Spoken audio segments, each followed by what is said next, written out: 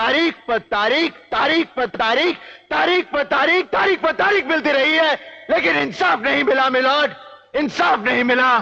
अस्सलाम वालेकुम दोस्तों, केस की समाप्ति, लेकिन कुछ न्यू अपडेट्स नहीं आया।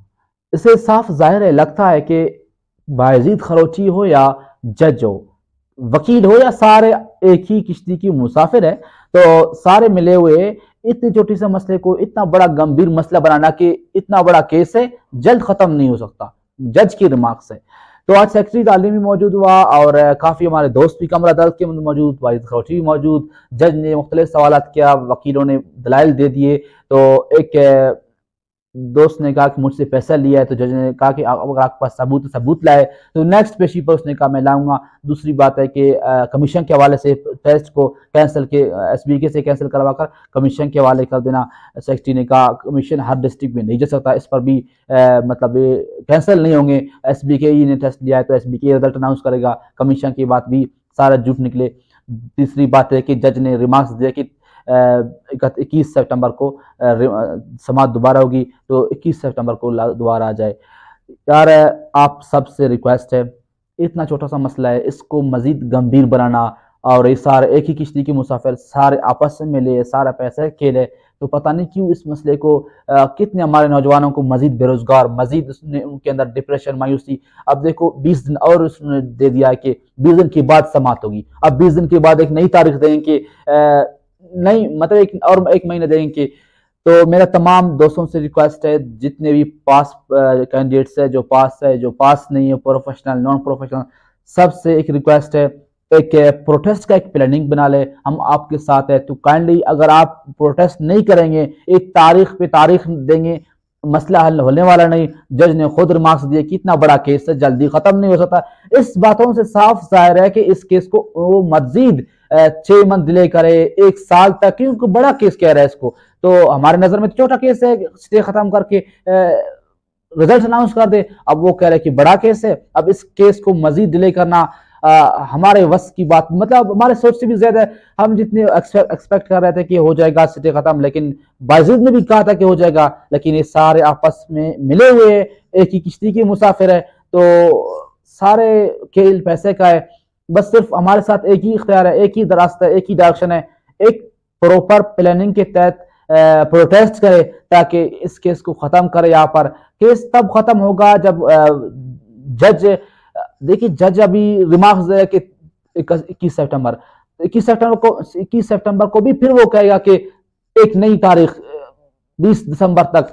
तो बस सिर्फ़ प्रोटेस्ट करे और नई अपडेट भी उन्होंने नहीं दी, बस थोड़ी सी केस को, थोड़ी ब्रेक के बाद फिर दोबारा केस की समाप्त हो गया। तो कह रहा है कि बस इक्कीस सितंबर को मुलतवी, इक्कीस सितंबर तक मुलतवी है, उसके बाद मतलब केस की समाप्त होगी। तो हमारे अच्छी खासा उम्मीदें थी और हमने बहुत ज़्यादा एक्सपेक्ट की थी और काफ़ी स्टूडेंट्स को भी पर मतलब उम्मीद की जा रहे थे कि केस की समाप्त होगी और स्टे ख़त्म हो जाएगा। लेकिन अब स्टे भी ख़त्म नहीं हो गया। अब साफ़ ज़ाहिर है कि जज जब रिमार्क्स देखी, इतना बड़ा फैसला है, इतना बड़ा केस है तो हम इसको खत्म क्यों इतनी जल्दी में करे? जब उनके भी छोले चल रहे जज साहब सारे आपस में मिले हुए पता नहीं इतने छोटी मसले को इतना गंभीर बनाना और स्टूडेंट्स तबका को मजीद बेरोजगार और ये केस मैंने एक वीडियो में कहा था कि ये जो केस है, ये जो रस है, ये 2024 तक मिल जाए भी बहुत बड़ी बात है। अब आप सब, देखिए सब आपके सामने है।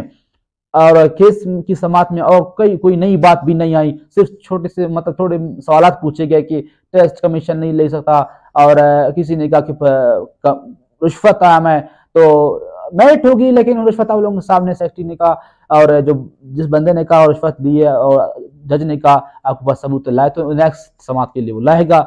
और नई तारीख इक्कीस सितंबर तक भी और इंतज़ार करे। शायद कुछ हो जाए। लेकिन मुझे ऐसा लग रहा है कि जज जब खुद कहते हैं कि बहुत बड़ा मसला है तो इस हिसाब से आ रहा है कि सितंबर को भी उसको मजीद मुलतवी करके एक नई तारीख देगी। तो बस आप लोगों से एक ही छोटी सी रिक्वेस्ट है, एक प्रॉपर वे में प्लानिंग के तहत प्रोटेस्ट करे, अपने वॉइस को रेज करे, और जब तक आप प्रोटेस्ट नहीं करते वॉइस को रेज नहीं करते, या हम वो माशरे में रह रहे हमारा कोई सुनने वाला नहीं, इतना छोटा मसला को केसों को इतना छोटा केस जो एक दिन के अंदर खत्म हो सकता है। इसको छह मंथ ले लिया है और मजीद डिले करना। पता नहीं, ये जज साहबान मैं इसके खिलाफ तो नहीं हूँ, लेकिन थोड़ी यार जज साहबान, जितने भी जज साहबान है या वकील वगैरह है, उन सबसे रिक्वेस्ट है काइंडली गरीबों का भी सुन ले और आप लोगों को तो पैसे मिल रहे होते जो हमारे यूथ तबका है, बहुत उम्मीदें लगाई बैठे कि हमें पोस्ट मिलेगा। हमने ख्वारी की, हमने मेहनत की है, लेकिन जब जज साहब आकर एक बात कहे कि मुलतवी हो गया, बस कभी कभी जज साहब तैयार नहीं होते कभी केस को मुलतवी करना। मतलब ये यार काइंडली हमारे यूथ की सुने और हमारे यूथ की मसाल को। हाईकोर्ट से ही उम्मीद है वाबस्ता है तो अगर हाईकोर्ट ही इस तरह फैसला दे कि हर तारीख पर एक नई तारीख देना तो हमारे माशरे के अंदर हमारे नौजवानों के अंदर एक डिप्रेशन एक मायूसी का आलम तो ज़रूर ज़ाहिर सी बात है जब आ, केस ख़त्म होने वाला है उसको मजीद डिले करना तो ये जो नौजवान तबके है, अब बेरोजगार बैठे है, एक आस, एक यही आस रहे थे कि पोस्ट मिल जाएँगे, टीचर्स लग, टीचर लग जाएँगे, वो भी नहीं हो नहीं हो पा रहा। तो बर करम सिर्फ़ आप लोगों के पास एक ही इख्तियार है। आ जाइए प्रोटेस्ट करें डिस्ट्रिक्ट में अपने या कोयटे के अंदर एक जगह सेलेक्ट करें सेक्रेटरी के सामने सेक्रेटरी हेल्थ के सामने, तालीम वजी तालीम की मतलब उसकी घर के सामने या सेक्रेटरीट के सामने तो कुछ करे, वरना इस तरह बस आप लोग केस की समातों को मुलतवी देख देख रहे होंगे और कुछ नहीं आउटपुट मिलने वाला। तो कोशिश करें। हमें काफ़ी अच्छे खासा उम्मीद थे, लेकिन हमारे उम्मीदों पर पता नहीं, ये हमारे नहीं सुनते गरीबों